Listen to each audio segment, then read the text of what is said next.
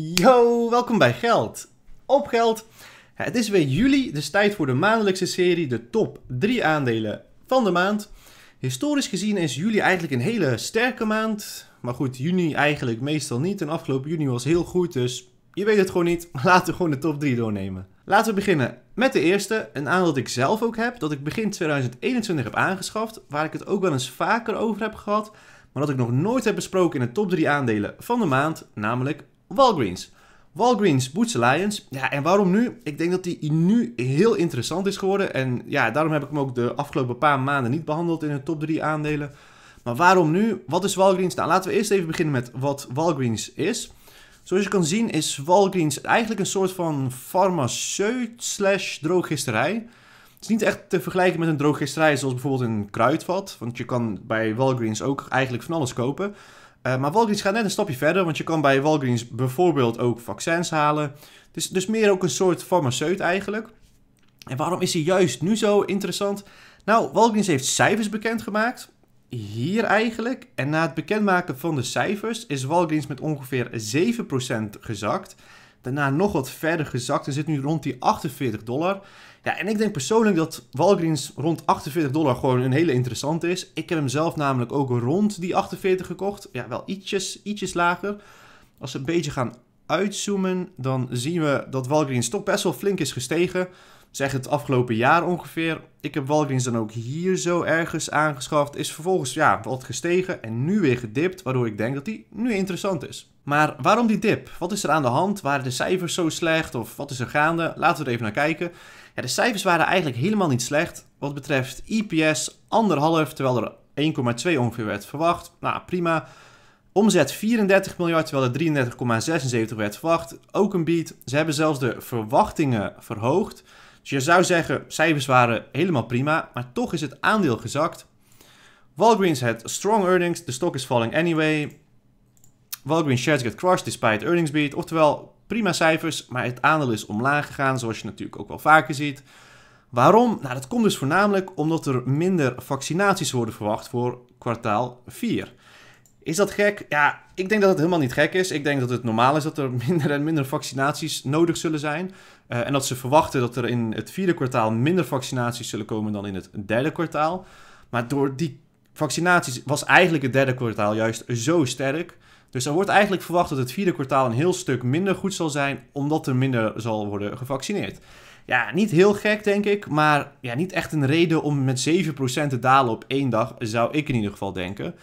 Dus wat is er gebeurd? Een beetje hè, samenvatting van het kwartaal en de resultaten. In principe gewoon een heel sterk kwartaal. Vooral heel sterk ook vanwege dus die vaccinaties. En wat heel mooi is altijd om te zien is als het bedrijf verder investeert voor de toekomst. Wat Walgreens ook al heel lang doet. Walgreens is ook een bedrijf dat echt al heel lang bestaat. Bestaat langer dan 100 jaar. Dus ze hebben gewoon heel veel geïnnoveerd. Ze zullen waarschijnlijk blijven innoveren.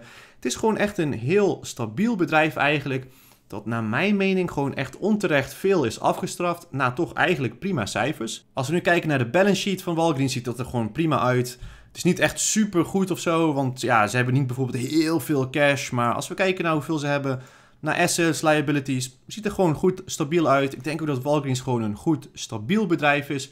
Een bedrijf dat gewoon laag gewaardeerd is op dit moment. Een PE van ja, onder de 20 een forward PE van onder de 10. En is ook niet dat Walgreens heel hard zal groeien of zo. Nee, het is gewoon een heel stabiel bedrijf dat het waarschijnlijk heel lang heel goed zal blijven doen. Betalen ook gewoon een heel mooi dividend van bijna 4%. En dit is een aandeel waarvan ik verwacht dat het wel zal groeien in de toekomst. Niet extreem veel wat betreft aandeelprijs, maar in combinatie met dividend is het gewoon een heel mooi stabiel bedrijf, verwacht ik zelf. Ik heb ze dan ook zelf aangeschaft in het begin van het jaar, in januari en toen in maart nog een plukje bijgekocht. Als we daarna gaan kijken, dan is dat eigenlijk hier en hier geweest. Als we daarop in gaan zoomen, dan heb ik hem dus ja, hier zo ergens en hier zo bijgekocht. Walgreens was gestegen, waardoor ik nou ja, zeg met 20, 25 procent in de plus stond. En nu zijn ze dus gedaald naar bijna het bedrag waar ik ze dus een half jaar geleden voor heb gekocht. En ik denk echt dat ze rond dit punt, rond die 48, gewoon een hele interessante zijn. Laten we doorgaan naar nummer 2, namelijk Win Resorts. Redelijk vergelijkbaar met Walgreens. Als je kijkt naar het feit dat ik hem ook al vrij lang heb. Win heb ik zelfs in 2019 al aangeschaft. maar nog niet eerder besproken in de top 3 aandelen van de maand. Ja, en ik denk dat Walgreens nu een hele interessant is om te kopen. De afgelopen maanden niet echt. Hetzelfde verhaal met Win. Nu heel interessant denk ik om te kopen omdat ze op dit moment gewoon heel goed gepositioneerd zijn om echt flink te profiteren van een heropening van de economie. Maar goed, wat is Win? Even in het kort. Win zit vooral in resorts, in hotels en casino's. Ze hebben van die grote, dure resorts eigenlijk. Uh, echt voor high-end, dus echt mensen die uh, heel veel geld willen uitgeven. Overnachtingen van 2, 3, 400 dollar en meer. En wat betreft casino's eigenlijk ook waar je echt wel veel geld moet uitgeven.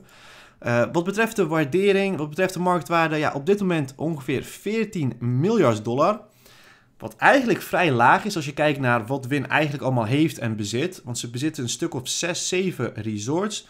Die eigenlijk per vestiging meer dan een miljard waard zijn. Hun vestiging in Las Vegas wordt geschat op ongeveer 6, 7 miljard dollar waarde.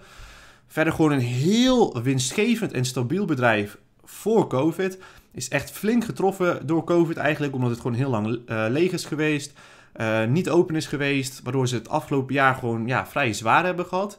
Maar ik denk op dit moment, zeker met deze daling zo'n klein beetje, goed gepositioneerd om flink te groeien. Ja, wat zien we op hun website? Dit is denk ik een hele belangrijke, namelijk dat Win nu gewoon helemaal open is. En ik denk dat er heel veel mensen zijn die niet kunnen wachten om op stap te gaan, om naar dure hotels te gaan, naar dure casino's te gaan.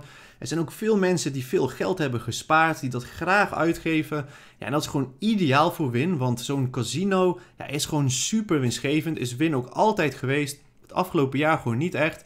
Maar ik denk dat ze nu gewoon heel goed gepositioneerd zijn. Nu dat alles dus weer open gaat, dat Win daar flink van kan profiteren. En dat Win dus eigenlijk weer teruggaat naar, ja, ik denk zeker wel richting die 200, waar die ongeveer eerder is geweest. En is hij nu rond die 120, gewoon een hele interessante ook. En dan op naar nummer 3, namelijk Voyager Digital. Heel wat anders. Veel meer risico, maar veel meer groeipotentie ook. Ik heb het er al eerder over gehad, ook in de vorige top 3 aandelen van de maand. Maar ik heb hem zelf nog niet aangeschaft. Ik twijfel eigenlijk nog een beetje, vooral omdat ik over een aantal maanden een nieuw huis ga kopen, waar ik waarschijnlijk ook wat cash voor nodig heb. Dus ik wil niet al te veel risico lopen. Maar de groeipotentie, ja, die zit er zeker. Als we nou gaan kijken naar Voyager, is een crypto-exchange voornamelijk die waarschijnlijk ook veel meer gaan doen dan alleen crypto. Maar als we kijken naar hun omzet van december, ja, 1,7 miljoen naar bijna 9 miljoen, naar 20 miljoen. Maand op maand, dus niet kwartaal op kwartaal, nee, maand op maand. Ze groeien echt enorm hard ook. Ja, als we kijken naar hun laatste kwartaal, hebben ze 60 miljoen dollar omzet gedaan. En dat is 16 keer meer dan daarvoor. Niet 16%, niet 160%, nee, 16 keer meer. Ze groeien dus enorm hard. De groei zit er zeker. Alleen wat je met Voyager echt ziet, vooral de laatste tijd eigenlijk, omdat crypto het wat slechter doet, zie je dat Voyager ook flink is gedaald ook. Want Voyager is echt enorm geëxplodeerd. Het aandeel is echt geëxplodeerd in een vrij korte tijd ook maar nu wat gedipt. En ik denk dat die eigenlijk wel heel interessant is. Vooral ook omdat ik denk dat vroeg of laat crypto het weer goed zal doen. En het grappige is eigenlijk dat het niet eens nodig is voor Voyager dat crypto het goed doet. Want Voyager wil vooral heel veel gebruikers en wil dat er heel veel transacties worden gemaakt.